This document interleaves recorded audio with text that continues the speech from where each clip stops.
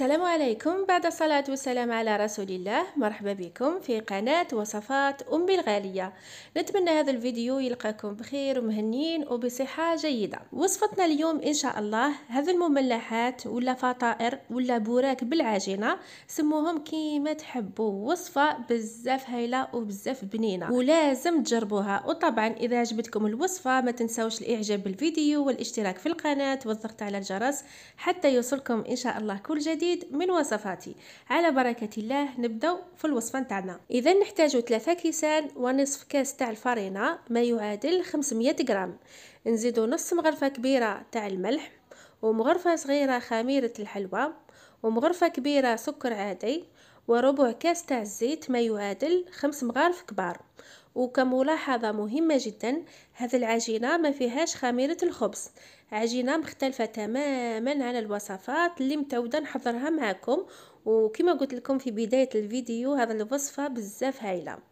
كما راكم تشوفوا عندنا كاس تاع الماء. بالنسبة للماء عادي من الحنفية يعني ماشي بارد ولا سخون. نبدأ نزيد في الماء بالتدريج بهذه الطريقة غير بشوية حتى نطمو العجينة تاعنا.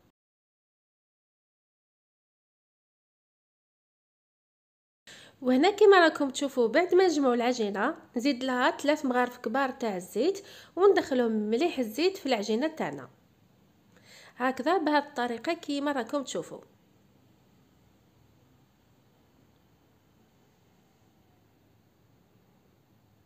وهذه هي النتيجة اللي نتحصلوا عليها. كما راكم تشوفوا هذا هو القوام تاع العجينة تاعنا. اذا نعاود نحطها في الغيسيبيون نغطيها بكيس بلاستيكي غذائي نحطها على جنب ونخليها ترتاح بيد ما نوجدوا الحشوه نتاعنا بالنسبة للحشوه نتاع اليوم بزاف بنينة وبزاف هايلة. وفي نفس الوقت بسيطة جدا جدا كما راكم تشوفوا في مقلة.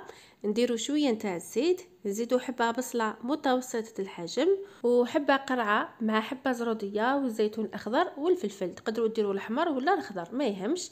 هلا نبدأ نقلي المكونات كلهم مع بعضهم بهذه الطريقة. كيما راكم تشوفوا.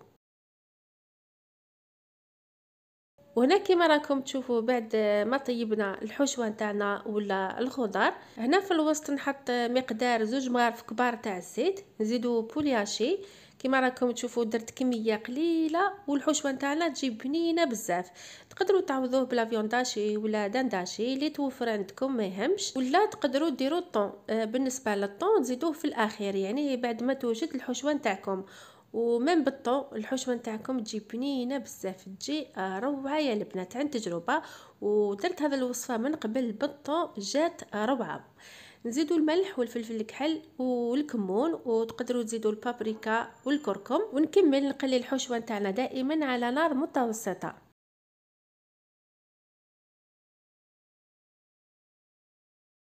وهنا كما راكم تشوفوا الحشوه تاعنا بعد ما وجدت في الاخير نزيدوا لها الفرماج ديروا أي نوع متوفر عندكم والكمية اللي تحبوا ديروها نزيدوا تقريبا نصف كاس من الكريمة السائلة وبهذه الطريقة الحشوه تاعنا تجي معسله بالبنة. وبنينة بنينة بزاف. نطفي عليها النار نحطوها على جنب ونرجعوا للعجينة تاعنا بعد ما خليتها ترتاح بيد ما وجدنا الحشوه تاعنا كما راكم تشوفوا جات ما شاء الله جات روعه نعاود لكم برك للإفادة. هذه العجينة ما فيهاش خميرة الخبز.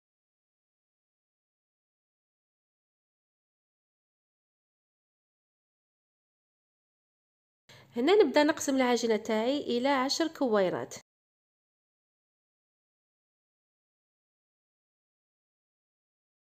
ونكور العجينة تاعنا بهذه الطريقة.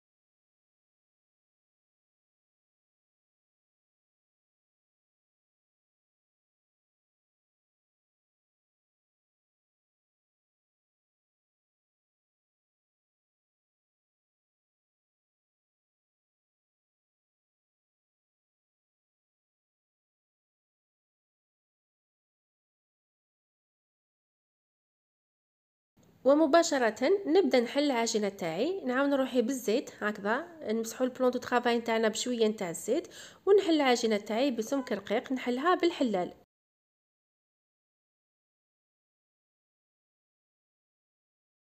هكذا بهذه الطريقة كما راكم تشوفوا.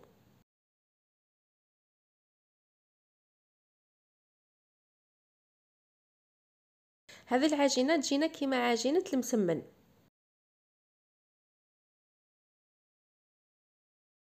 ونحطوا الحشوة نتاعنا بعد ما بردت. نحط مقدار مغرفة كبيرة. شوفوا هنا نغلقوا على الحشوة نتاعنا على الجوانب بهذه الطريقة. ونبدأ ندورها هكذا كيما راكم تشوفوا هنا كي تدوروا العجينة تاعكم ما تضغطوش بزاف عليها. هكذا. وهذه هي النتيجة اللي نتحصلوا عليها.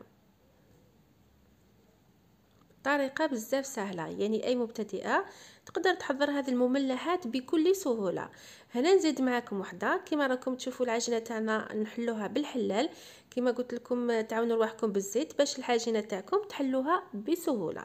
نحطوا الحشوة تاعنا مقدار مرفة كبيرة ونغلقوا على الحشوة نتاعنا على الجوانب ونبدأ ندور بهذه الطريقة. كما قلت لكم كي تدوروا العجينة تاعكم ما تضغطوش عليها بزاف. ونكمل كامل الكمية بنفس الطريقة. نجيبو الصينية تاعنا نفرشوا لها ورق الطهي وإذا ما هوش متوفر عندكم ماشي لازم. نحطهم في الصينية بهذه الطريقة ما نخليهمش يخمروا مباشرة. ندهنهم بصفار بيضاء مع نص مغرفة كبيرة من الكريمة سائله ولا صفار بيضاء مع نص مغرفة كبيرة تاع الحليب يعني اللي توفر عندكم. واللي عندهم حساسية من البيض المملحات تاعكم دهنوهم بالحليب. ونزينوهم بالسانوج والججلان وفي هذه اللحظات الفرن تاعي سخون سخنته مسبقا. الصينيه تاعي نحطها في الوسط المملحات تاعنا نطيبوهم في 190 درجة ولا 180 درجة. الفرن نشعلو من الأسفل نخليهم حتى يطيبوا تحمروا من التحت على الجوانب نطفي عليهم من التحت نزيد نشعلهم من الفوق ونحمرهم. وكملاحظه مهمة جدا ما تخلوهمش يطولوا في الفرن باش ما يجوكمش ناشفين. اذا هذا هو الشكل النهائي للمملحات اللي حضرتهم معكم. بعد ما طيبتهم حمرتهم من التحت من الفوق نحيتهم من الفرن وهما سخونين.